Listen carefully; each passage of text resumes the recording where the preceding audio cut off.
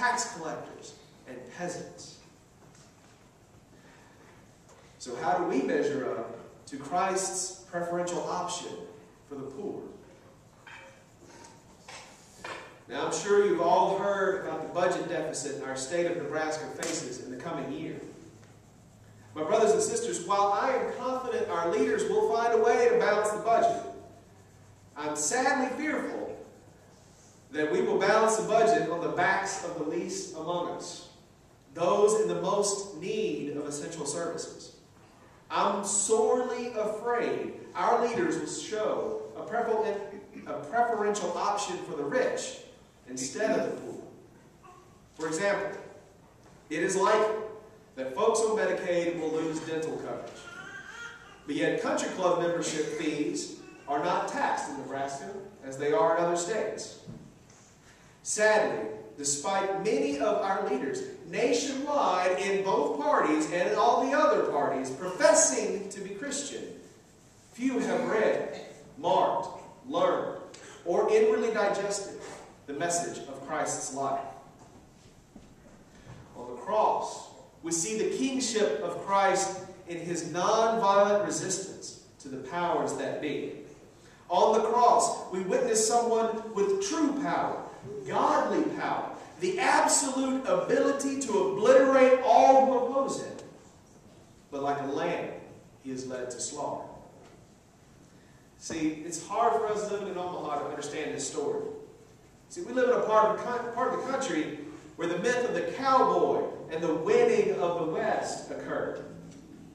In the American cowboy story, the good guy, when he is outnumbered and outgunned, makes a valiant stand against the opposition and dies a hero's death, having taken out as many of the enemy on the way out as possible, or somehow miraculously killing all of the enemy and walking away unscathed.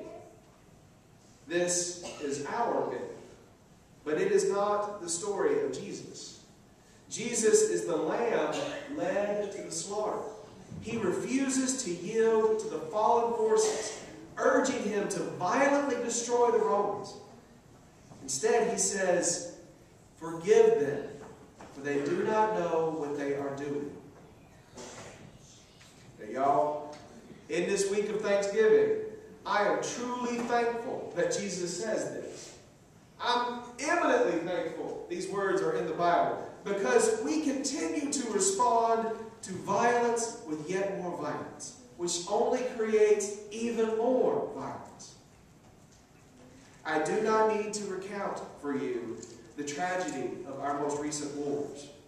I do not need to tell you of the lives lost on all sides the soldiers who will forever be maimed or scarred mentally or physically because you and I asked them to fight. I need not tell you that all wars are fought over money and power and never over human rights, injustice, or preemptive defense against a perceived threat. Lord, forgive us, for we have no clue what we are doing. Indeed. Finally, in the resurrection, we see Christ's kingdom and God's ultimate forgiveness. This is the good part, y'all. Because see, like any, unlike any other story in history, when Christ is killed, he comes back and he's not vengeful or angry. Y'all, if you nailed me to a tree, I would, would want to take you behind the barn and have a conversation. But yet Jesus, who had every right to be mad at his disciples for abandoning him, calls out Peter and says, Peter, do you love me? Then feed my sheep.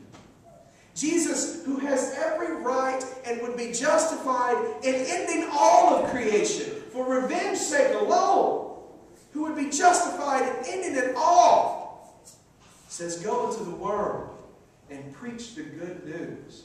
Tell folks the kingdom of God has come, where we need not pamper the rich by making the poor suffer. The abundant kingdom has come, where we need not fight wars over limited resources. Go into the world and tell folks they are forgiven, they are loved, despite their ignorance, despite not knowing what they do. despite God knowing the truth, they are loved. But, brothers and sisters, that is why we celebrate Christ the King this day. Because we are forgiven. We are loved despite our ignorance, despite not knowing what we do, despite God knowing the truth about you and you and you and me alone for sure, we are loved. God forgives us for we know not what we do. My brothers and sisters, come to God's table and rejoice in God's forgiveness. Because like the old hymn says, my sin Oh, the this glorious thought. My sin, not in part, but the whole, is nailed to the cross, and I bear it no more. Praise the Lord, praise the Lord, oh my soul. My brothers and sisters, walk that aisle this day and come to God's table, not for solace alone, but for strength. Walk that aisle and pledge allegiance to the true King walk that aisle as a broken sinner who knows not or she is doing, and so that you can go into the world and proclaim God's love to the farthest reaches of the earth. From the person next door and to the people on the other side of the planet, let your life proclaim that they are loved my brothers and sisters, this day we will be with God in paradise, in the here and now, if we but walk that aisle and receive what we already are the body and blood of Christ